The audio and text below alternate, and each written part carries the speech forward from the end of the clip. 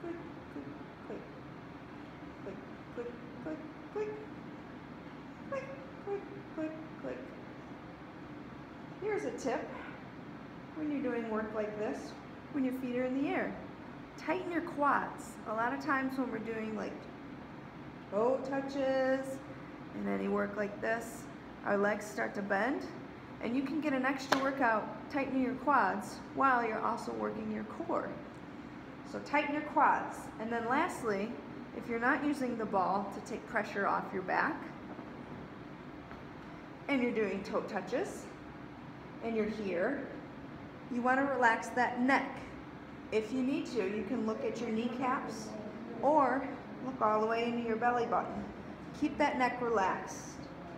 And advance, keep your shoulder blades off the ground. There's your tip for today. Have an awesome day.